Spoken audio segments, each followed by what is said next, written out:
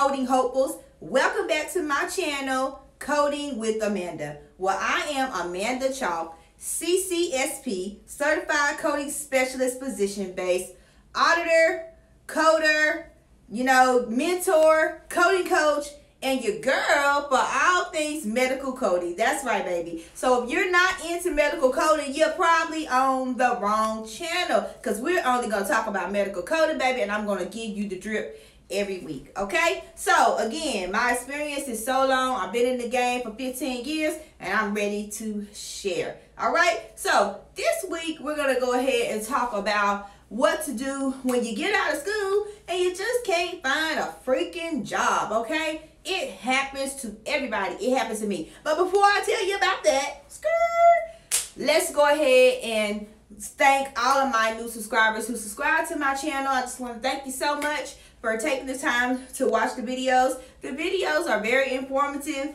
and it might, you know, make you want to actually be a medical coder, okay?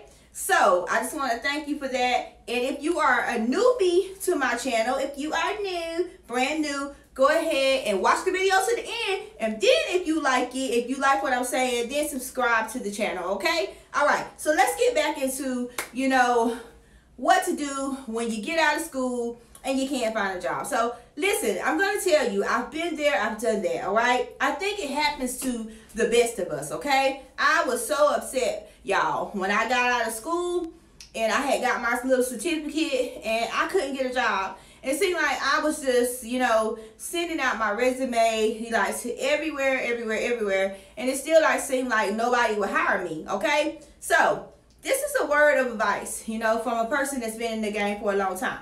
Dude, you cannot give up. Don't give up. If I had a gave up on my dream, you know, of working in the coding field, then I wouldn't be sitting where I am today, working comfortably from home, making great money, okay? And I'm a coder, a coder and an auditor, okay? So if I had a gave up, this would have never happened. So you can't just, you know, get frustrated and be like, ah, oh, man, forget it. I'm going to go back to manufacturing. What you want to do? You want to work in those type of jobs for the rest of your life? You absolutely can't give up. So on today's video, I'm just going to tell you a couple things that might would help you out a little bit. So the very first piece of advice that I'm going to give you is to start networking with people that are experienced that are already in the field. You know, I hate to tell you this, but you know, we're a very elite little group of people, okay? And your hometown has a elite little group of coders, okay? and, and coding supervisors and coding managers. And in this field, you will see somebody again. So that's the reason why you absolutely should never burn bridges with people. Okay, you just you just can't. You you will never understand how I've seen different people in different jobs that I went to, different coders. So don't ever burn a bridge because you never know when you'll need that person again. Take my advice, okay? But anyway, you want to start networking with the experienced coders because experienced coders can tell you, you know, who's who, who's you know, what jobs are available, what is what niche you need to get in, whether it's inpatient, outpatient. They have experience and that's the reason why they can go ahead and tell you these things and give you these wise words. So, you know, absolutely network. That's what happened to me. Um, when I first got out of school, you know, I was faxing off my resumes and all this stuff to people, but I knew some a lady, right? And um, this particular lady who I thank so much to this day, like I consider her like a mentor. She's so smart and savvy in the coding business, okay? But anywho, I'm not gonna say her name on camera, but because she may not want that. But anywho, this lady took me under her wing and I started working at a rheumatology office. And the only reason why the rheumatologist really hired me with no experience really besides just working in the ER checking out, checking in and out people, he hired me because of her. Okay? Because she was an experienced vet, veteran in the business, in the field. And so, you know, he didn't mind letting me come in as long as she kind of like watched me. So of course, he paid her, you know, to to like kind of train me and take me under her wing. But it's because of networking that I even like found out about her, you know, and who she was and who she was in the field. So that's what I'm saying. Like, get to know the who's who in coding in your local town, city, whatever. You need to get to know people because I guarantee you, you will see those people again. Okay, believe me, trust me. Don't burn bridges. All right. And the second thing um, that might help you out, if you know anyone that looks that works in your like your local doctor's offices, right? This is another tip I can tell you. Like so, I knew somebody who worked in the doctor's office that I used to go go to, right? So I had her to give me a list.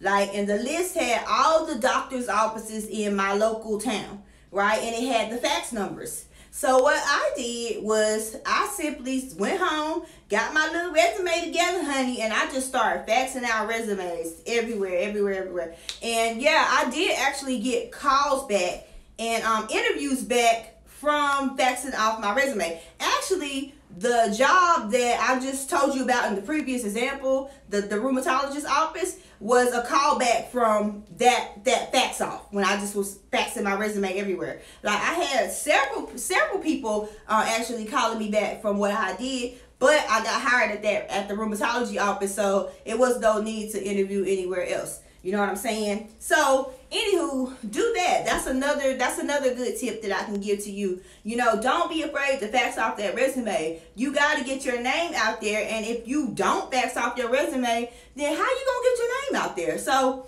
hey, closed mouths don't get fed, baby. Okay? So, if you want to close some charge, you absolutely have to let people know what you do, who you are, okay? And they'll never know that if you don't send that resume out, okay? So that's the second thing that I can tell you, okay? Now, let me reflect back to my little notes here. Um, oh, the third thing, I told y'all I have so much to share with y'all that you might want to do that could, that might would help you when you can't when you get out of school and you can't find a freaking job is you might want to consider starting in a position that is not medical coding, okay? So you can have the opportunity to move up in the company, okay? That's another strategy that you could do, okay? So I'm going to tell you, I went from that rheumatology office to being a charge entry clerk, okay? So a charge entry clerk and a coder is not the same thing. Popular to contrary belief. Some people think that it is, but it's not because a charge entry clerk somebody's just handing you a ticket. We used to call them call it a trip ticket, and all you would do was just simply enter everything that the doctor said. That's not really coding, okay? Coding requires skills. Data entry that's that doesn't require any skills because you're just you know entering numbers you know that you see, okay? But anywho, I started I started off in uh, charge entry and then I moved to a medical billing office okay? And I started doing medical billing uh, with that office when the job my charge entry job got ready to shut down. I started doing um, medical billing then and uh, accounts receivable posting payments all of that kind of stuff but it was still within the, the medical group okay so I was working for the same medical group but just moving around jobs okay so finally when I seen an orthopedic surgery coder job pop up on the web, I'm like, hmm, okay, I got my certification, but I don't have no experience. But I'm gonna see if I can apply for that job. So I could just transfer. Sometimes you gotta do an inner facility transfer. Okay, that's what I'm telling you. Like work for a company like uh maybe in North Carolina, like for instance, we have Novant.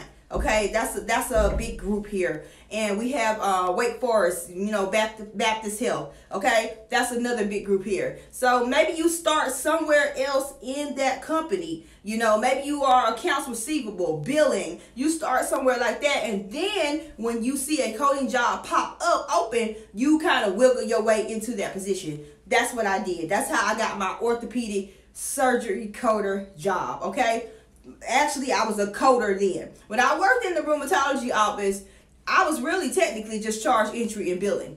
I wasn't even a coder. Like you're not a coder until you can look at a, at a physician's note and you can tell the physician what to charge. Okay, he's not telling you what he's gonna charge. You can look at that note and look at that documentation and actually decipher what the physician is supposed to charge. Uh, until you can do that, until you can know what history exam and medical decision making is, you're not a real coder. You just charge entry, okay? So there is a difference, and that's the reason why, you know, coders get paid so well because we have to know so many things, okay?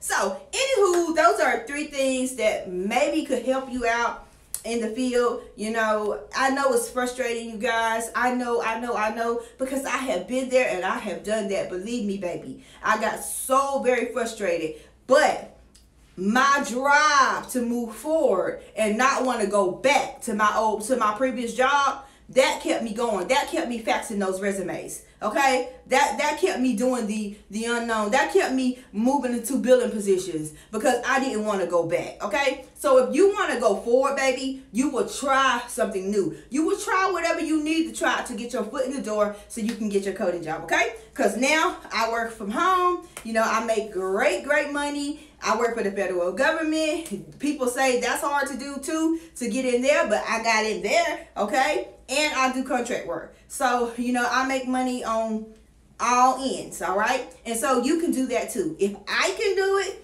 you can do it, okay? So don't let anybody tell you that you can't. Anywho, I'm going to get ready to hop on out of here. That's this week's video. Those, those are my tips and tricks for when you get out of school and you're frustrated and you can't find a job. I just told you what to do, okay? So I hope you follow my advice.